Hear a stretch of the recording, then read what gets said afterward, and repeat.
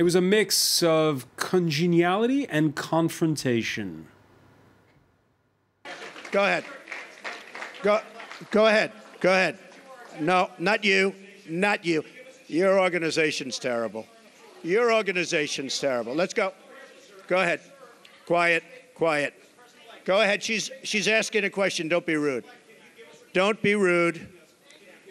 Don't be rude. No, I'm not going to give you a question. I'm not going to give you a question. All right, a whiff of uh, what a Trump presidency might be like in eight days' time. His first press conference since July, salacious tales of uh, Russian hotel room sex tape blackmail could well be fake news, as uh, he contends. But even assuming that it's the case, what damage to Trump uh, and to U.S. democracy has it all had the Russian hacking story? Will Trump continue to play down reports of Moscow's meddling in the campaign? Uh, Trump, uh, for the first time, saying, yes, Moscow is responsible, but also meting out blame to others. Trump's uh, biggest issue, though, on day one, may, perhaps isn't Russia at all. The press conference taking place at Trump Tower, a building where a Chinese state owned bank and Qatar Airways both rent space, those are just two of the many, many business ties between the Donald and partners, domestic and foreign, that could uh, mean conflicts of interest once he's in office. The founding fathers in the U.S. enshrined in the Constitution that uh, the principle that office holders cannot curry favor from foreign powers. Could Trump's business empire be impossible to untangle? And could he be, in fact, some even argue, impeachable on day one? Today in the France 24 debate, we're looking at how Trump faced the press with us, former U.S. diplomat uh, William Jordan. Hi, Francois. Happy New Year. Happy New Year to you. Ha happy New Year uh, to uh, foreign policy consultant Molly McKew. Recently wrote a column in Politico entitled Putin's Really Long Game. Thank you for being with us from Washington. Thanks better? for having me.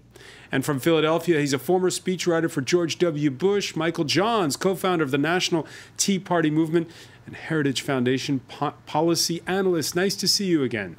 Hey, it's a pleasure. How are you? The France 24 debate, where you can join the conversation on Facebook and Twitter, the hashtag F24debate. Phony stuff. That's how Donald Trump characterized the latest allegations against him, adding, yes, Russia was hacking but it could have been others also. If Putin likes Donald Trump, guess what, folks? That's called an asset, not a liability. Now, I don't know that I'm going to get along with Vladimir Putin. I hope I do, but there's a good chance I won't. And if I don't, do you honestly believe that Hillary would be tougher on Putin than me? Does anybody in this room really believe that? Give me a break. All right. Uh, before I turn to Molly McKew for her reaction on this, uh, let's say hello as well to Caroline Fredrickson, president of the American Constitution Society for Law and Policy, who's in the U.S. Capitol. Thank you for being with us. Uh, Molly McKew, let me begin with you. Uh, did you have a sense there that uh, Donald Trump has changed his tack when it comes to Russian hacking? I don't know if it's a change or if it's consistency because there's been a lot of up and down on this. I think that um, the interesting part is he said, I think it was probably Russia, or but but you know other people hack stuff too, which is his way of constantly creating an uncertain narrative.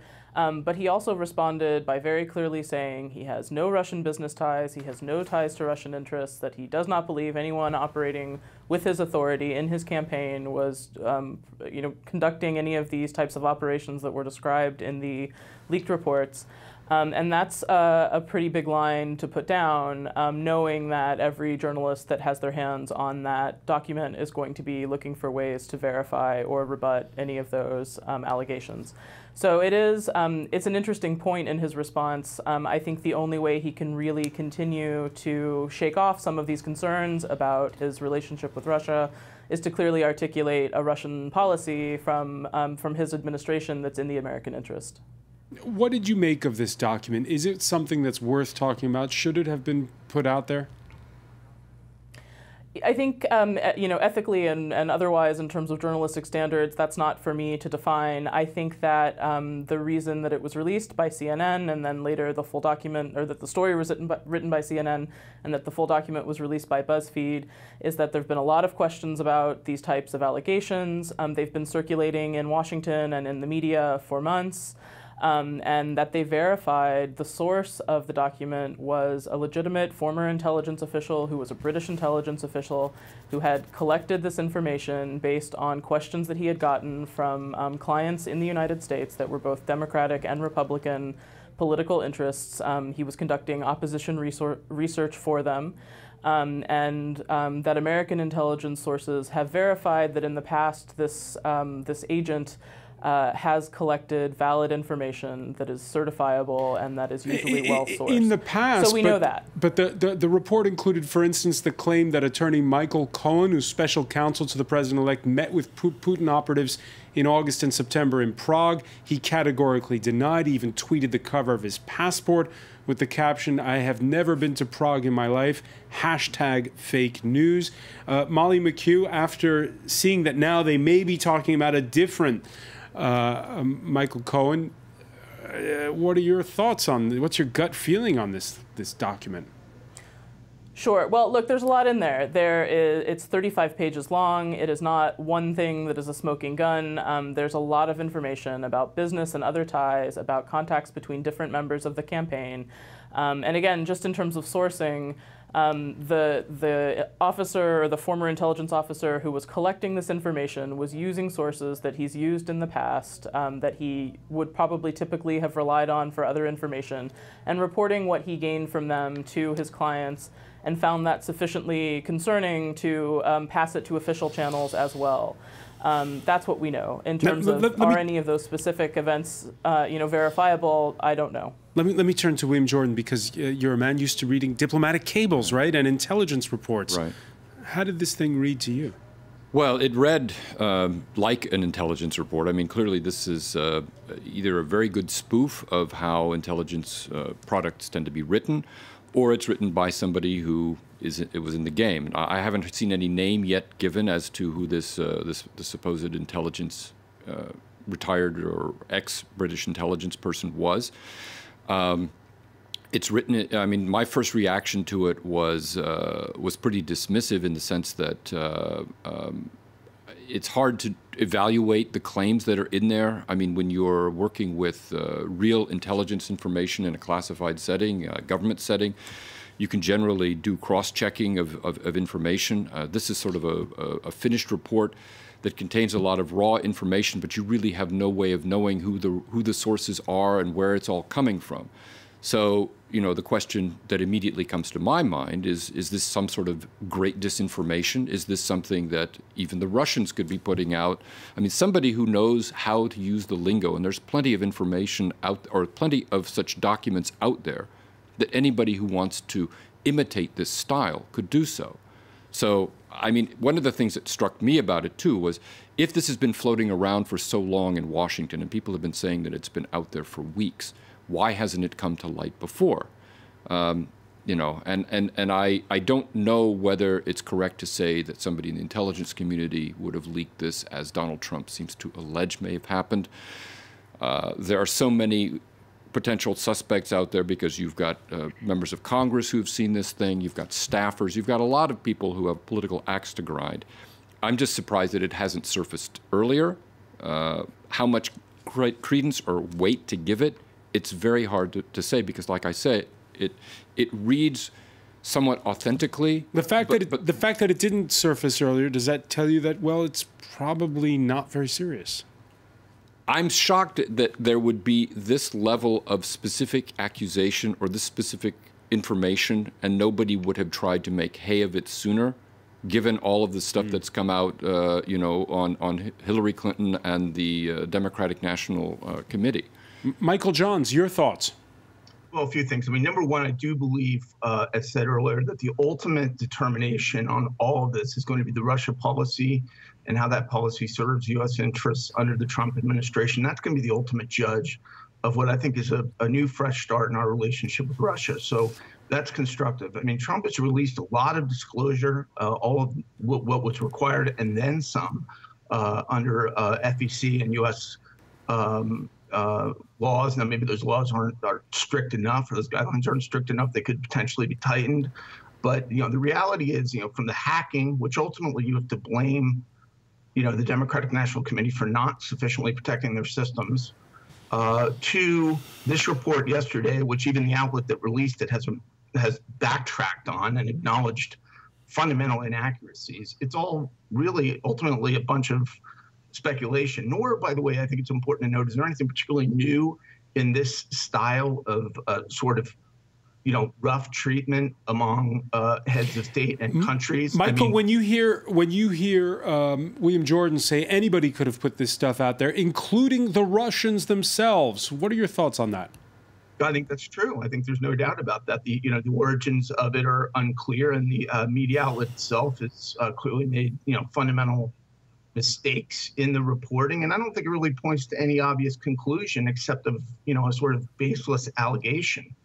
Um, you know, it, I, I think you know Trump's position on Russia throughout the campaign, including in this press conference today, was that the United States was going to defend U.S. interests. And hopefully that'll include a very amicable relationship with Putin and Russia. But if it doesn't, then you know it's not going to be uh, a capitulation to Russian interests. This is a, a president-elect who, throughout this campaign and and you know as recently as today, has made it very clear that he's going to stand very assertively for U.S. interests.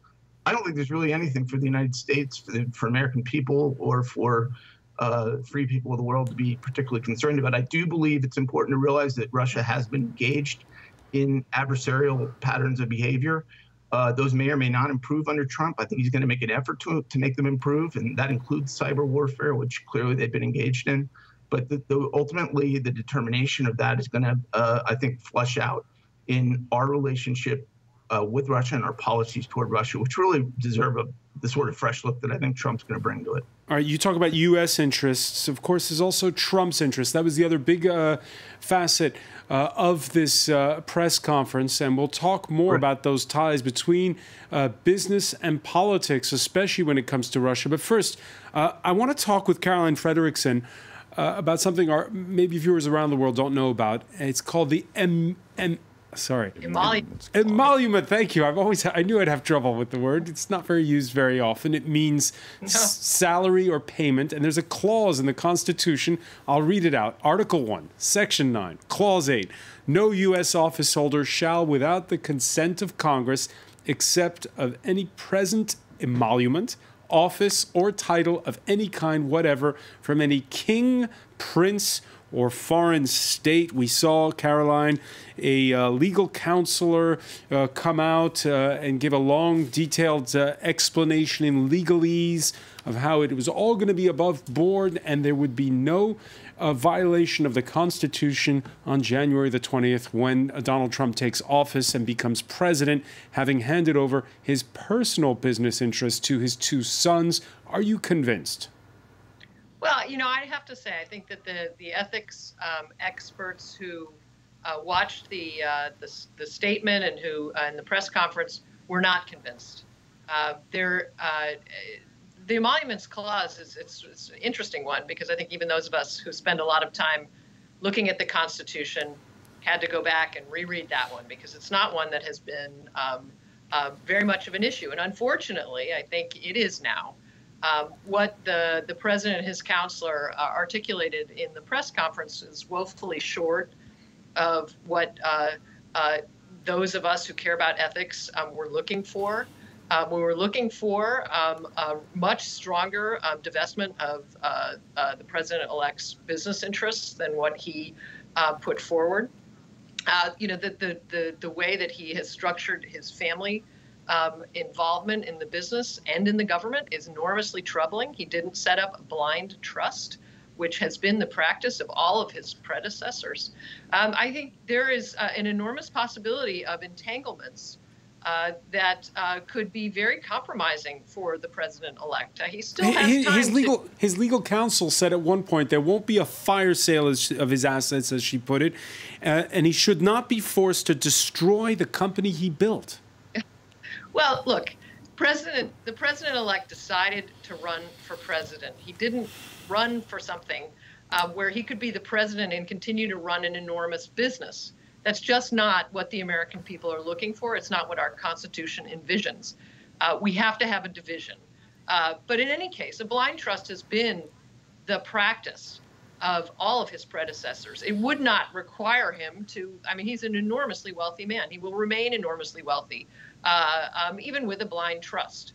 Um, and so I think, in the best interest of our country, he has to move forward in a way that is going to be ethically above board uh, and is going to make people confident that he is doing the business of the American people and not the business of, you know, Putin, as in the previous conversation, or Trump uh, uh, enterprises.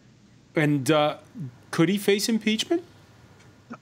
well, that's a little a little premature, um, certainly. Um, uh, but I think there is uh, is a good cause for him to be cautious in how he moves forward and reconsider the the arrangements he's established. Uh, you know, the, this country deserves the best and the brightest for our leadership, and we need to have somebody that we uh, think is actually moving forward. As I said, in the nation's best interest, as the as one of the world's, if not the world superpower. Uh, we need somebody we can trust is doing it for the best interest of all of us and not for the best interest of his business. All right, My, Michael Johns, uh, you heard there uh, Caroline Fredrickson say it's not too late for Trump to do a better job of building that firewall between uh, his uh, job as president and his business interests. I think what you got out of the press conference today, which is sort of what he had promised, but now he's delivered on, is a complete uh, disentanglement of him from the Trump organization and its companies, which will now be run by his two sons. And that is formulated, and that was the, the essence of the message from the legal counsel of the of the Trump uh, organization today. Uh, that he has signed all of that. This is as close to a blind trust as you can get. It's very somewhat different when you're dealing with hard assets as opposed to, say, you know, stocks or equities that could be you know, quickly moved into that. But in essence, that's what he's done. He is not involved in any capacity uh, going forward in leadership decisions or in the business of that company. He has done everything uh, short of the fire sale, which would be, I think, illogical and not justified, and it's not required by U.S. law uh, to put at ease any concerns that exist. To, to put at ease those concerns, we're going to have to take a quick break. I want to thank Caroline for being with us. I want to ask the rest of our panel to stay put. We'll be right back. It's the France 24 debate.